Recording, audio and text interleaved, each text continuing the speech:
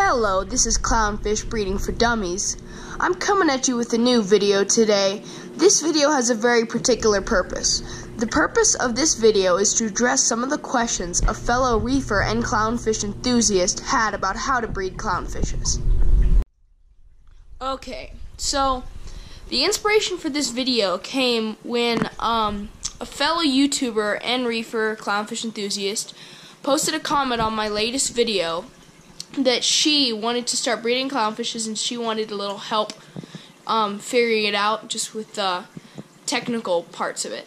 So I decided to do this video to just go more in depth on less of like my setup and what I'm doing, but what you can do in varying degrees of wealth and uh, supplies to create an awesome clownfish breeding setup. Okay, so the first thing you're going to do with your tank, Sophie, is take out all your sand and take out some of the rock. You're not going to need to take out all of it, but definitely take out some. You can leave your nems in there, but I would recommend putting them in a separate sort of compartment than your actual broodstock because many people believe that you actually need anemones in order for clownfish to spawn. That's a myth. You don't. It's actually harmful. They'll actually spawn more readily with just a tile structure like I've made here. And that's just because I think they don't have the distraction of taking care of the anemone, finding it food, and protecting it from its quote unquote predators in your tank. So that's my own recommendation. So yeah, take out the sand bed, take out some of the live rock, and make sections using plexiglass cut to size like I have here. And looking back in retrospect, I probably would have changed the way I did these quite a lot. You can see all I really did was cut holes all throughout these plexiglass sheets. And while that has worked okay for me, it would have been much better for me if I just cut down the top so that the water level of the tank might have actually been slightly lower, I mean higher than the top of this, letting water flow over the top because the clown is not going to notice that. The clown is not going to come up and try to jump over into the next tank over. It's just not going to happen. So you don't need to worry about that. You could even cut slits, deeper slits all down here that would work better. Um, but you're definitely also going to want to paint um, your dividers and the sides and back of your tank black. You can use that. You can do that just by using black construction paper or by using something um, like they make rubber composite paints that are really great because you can peel them off later. And that's what I used here. Um, but you can really use anything. Okay, that's the first part of my advice. Okay, so the second part of my advice involves sprucing up the filtration as much as you possibly can with whatever budget you might have.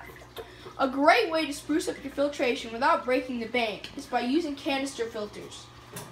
They're pretty cheap. I mean, this one was 70 bucks, insanely easy to set up, and it could even help save your tank in the event of a crash. Say, for the sake of argument, that say your auto top, I'm sorry, um, your return pump was disconnected or your overflow stopped working. Your tank is totally stagnant. You got no water flow. You got no filtration. Your tank is in, in, in dire need. This would would still be filtering. It would still be circulating the water and drawing water from your tank. It would be filtering it and keeping the oxygen content high in the water, the dissolved oxygen. That is the most important thing to do if your tank was ever to crash. So that is just a great way. It's an extra safety mechanism, and I know that any of you are serious in reefing as all you have all experienced that time when the power went out or a wire was disconnected when your housekeeper was there and your tank was screwed up for a while after that. So this is just something that's very good to do.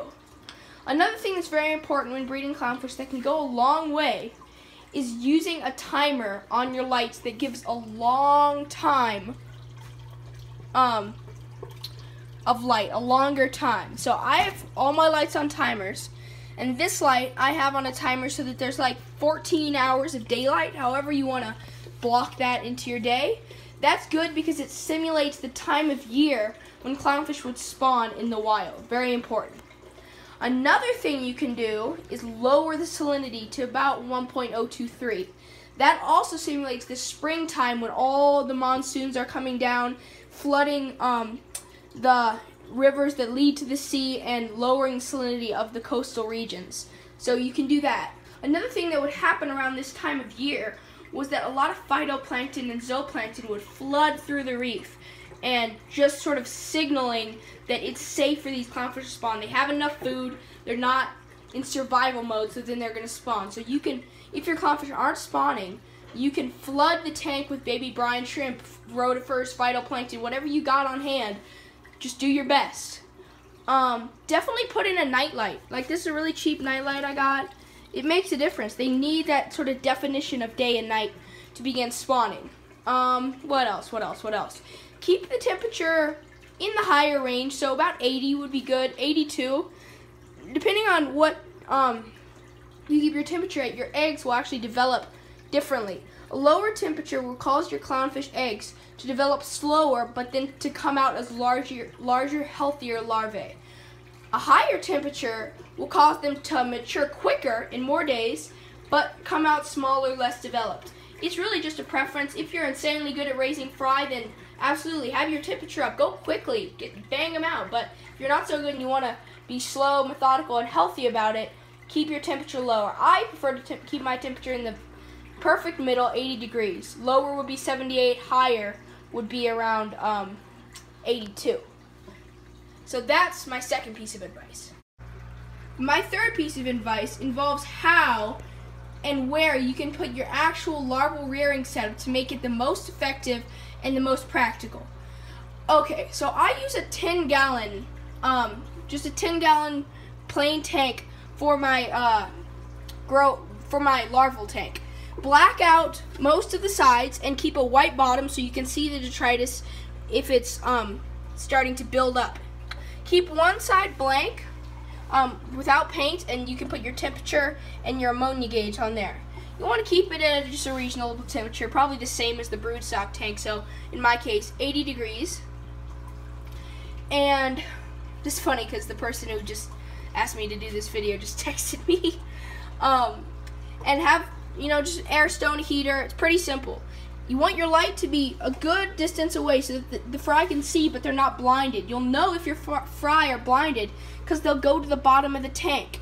But that's irrelevant. What I'm really talking about in this video is where and what you should do for your setup. Okay, I got a cheap table right here. It's in my garage because it gets freaking messy when you're raising fry. You got rotifer buckets coming in. You got RG Complete spilled all over. You got food over here. You got your testers. You got, it gets crazy, okay? So you're going to want to have a surface that you can get dirty and you're not going to freak out and your wife or your husband or your friends or your roommates are not going to kill you. Um, you're also definitely going to want a calendar to keep track of when they were laid, when the eggs hatch, when you think they'll go through metamorphosis, and stuff like that. So that's the main gist of this video. Is just you need to think practically about this. See, I've got like electrical outlets put in. Helps a ton because I don't want my freaking extension cord disconnecting in the middle of when I'm raising fry.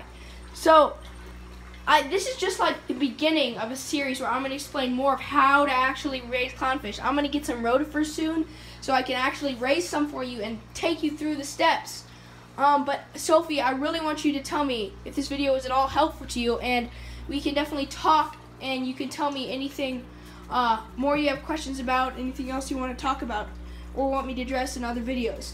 And this is just, I want to tell all you guys that any comments you leave on my videos, I will always reply.